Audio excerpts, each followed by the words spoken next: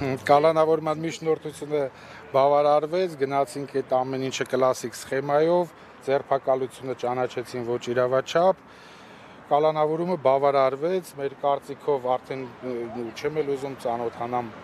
ու ծանոթանալու եմ, բայց այս պայն առանց ծանոթանալու էլ հասկանում եմ, որ ապօրինի է կայացել, որովհետև մենք շատ ծանրակշիռ փաստական հանգամանքներ էինք ներկայացրել, որով որ բացառվում էր մեր պաշտպանյալի կալանավորումը։ Ամեն դեպքում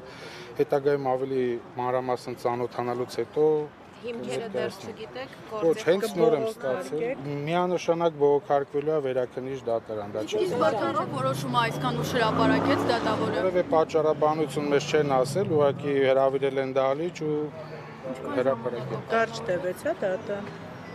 Դա որպես այդպեսին չպետք է լիներ, ուղղակի պետք է հրապարակվեր։ Այսինքն ձերբակալումն ու կալանքի հարցը նույն վարույթում էր, ես Այո, մենք ներկայացրել էինք ձերբակալման իրավաչափության վերաբերյալ բողոք, վարույթ իրականացնող մարմինը կալանավորման վերաբերյալ միջնորդություն։